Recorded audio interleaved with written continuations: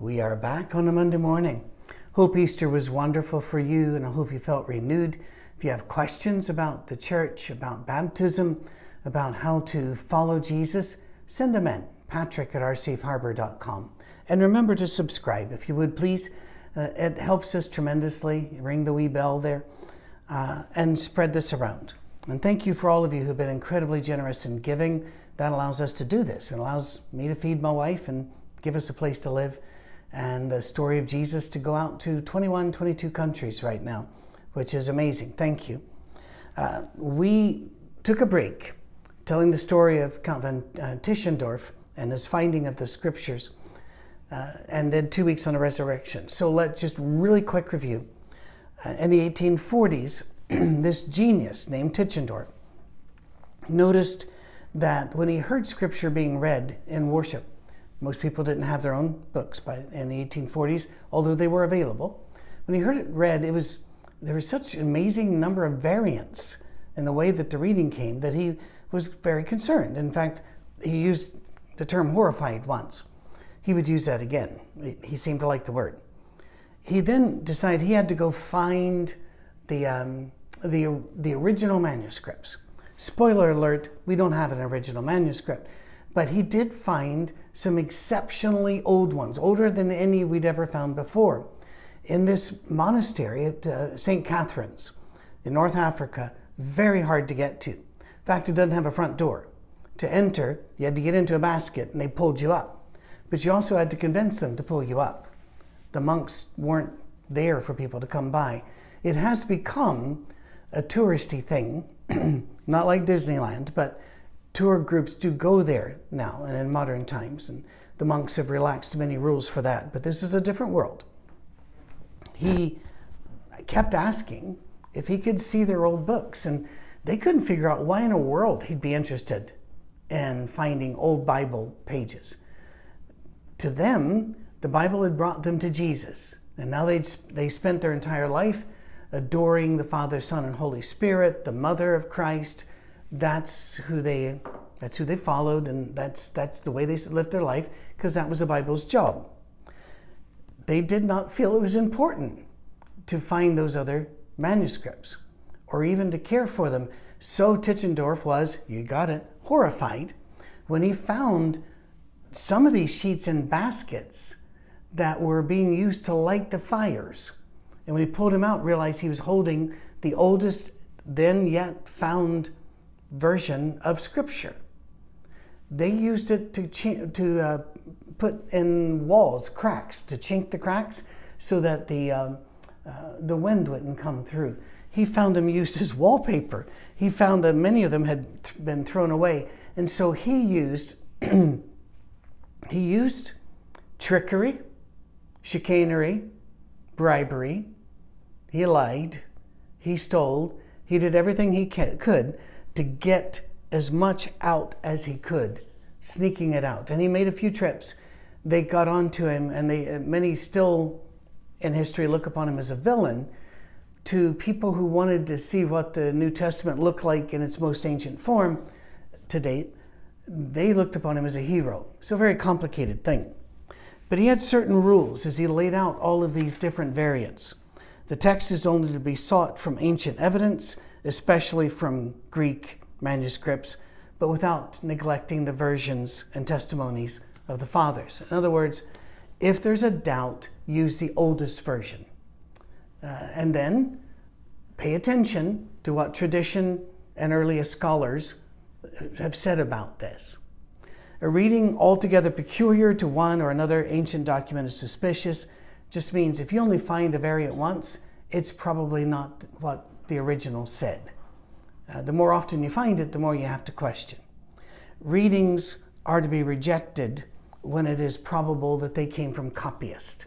Now, we find that in our modern Bibles.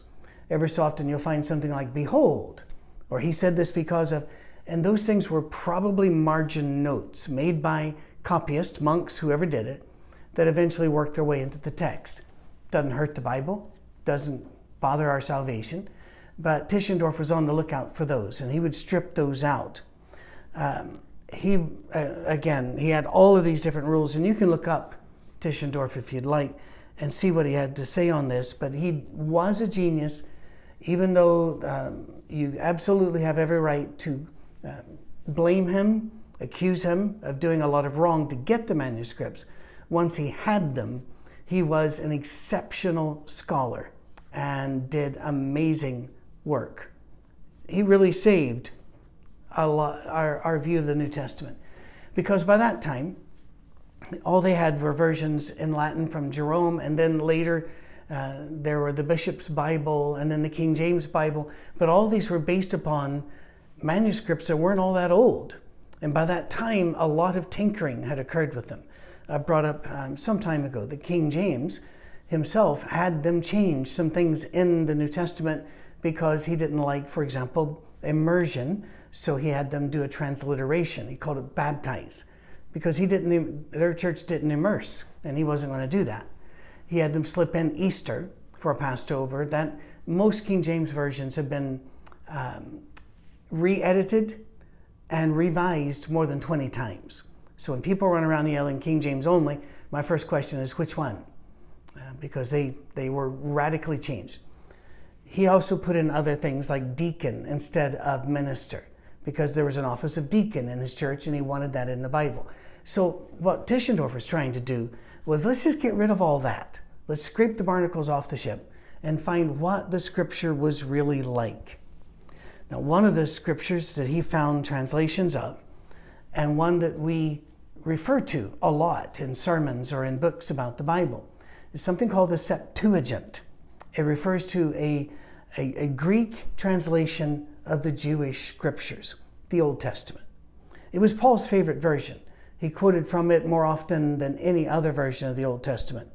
But what you might not know about the Septuagint is this it was said in a story, undocumented, not backed up, a story that there were 72 Jewish scholars, hence the name Septuagint, 70. They um, told me put 72 of these scholars in 72 rooms with copies, uh, I'm, I'm sorry, without copies of Scripture, and told them to translate Scripture into Greek from memory because they knew all of these Scriptures in their heart. When they were done, all 72 were compared and they were perfectly in agreement with each other. The story is not true.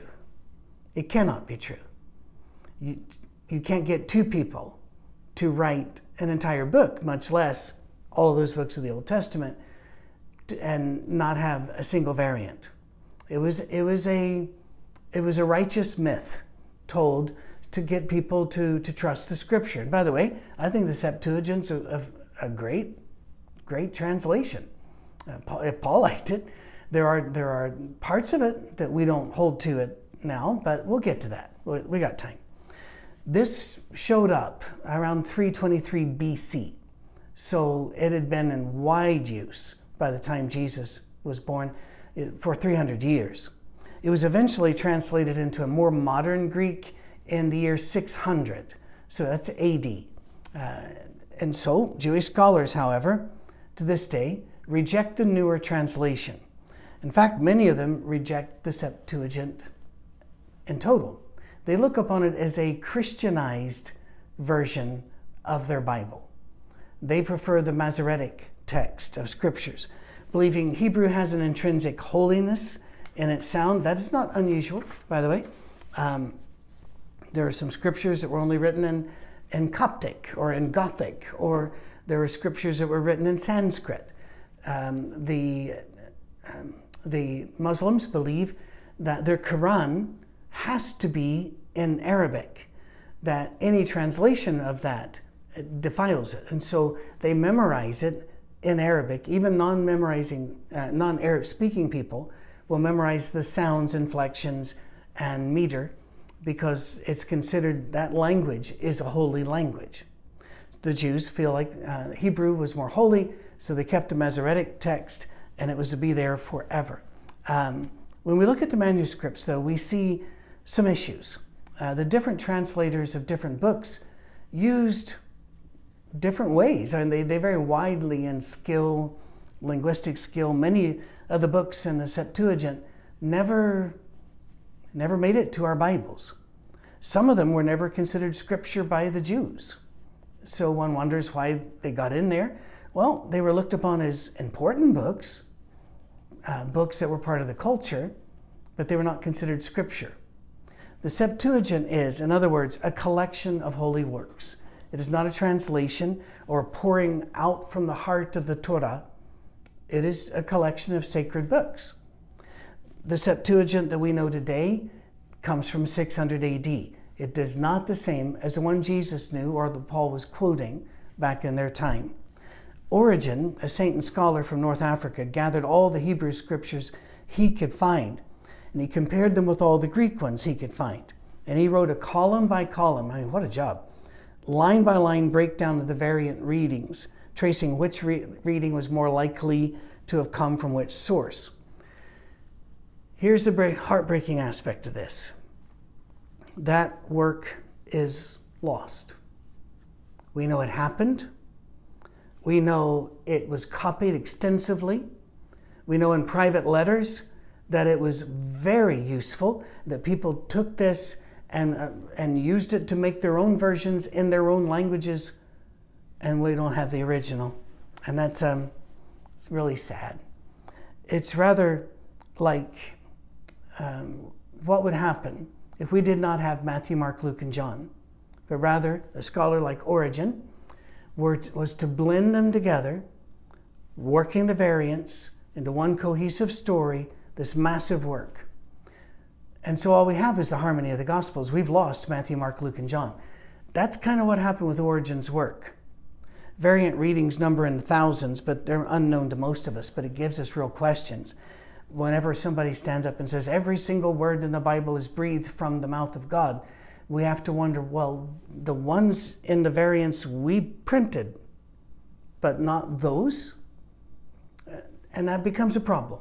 It really does. If you look at the Bible as our story of faith, the interaction of man and God, Him bringing us to Jesus, and then filling us with the Holy Spirit telling us to do good, to love God, love each other as our neighbor, and to move forward spreading the, the news of grace, love, peace, and joy, then we can deal with this. But if our Bible is our avatar, our perfect human, perfect physical, rather, manifestation of a perfect God, then we have problems because the variant readings do number in the thousands. By the way, I like Bart Ehrman and I like his books, but he writes you know, lost gospels and um, uh, misquoting Jesus.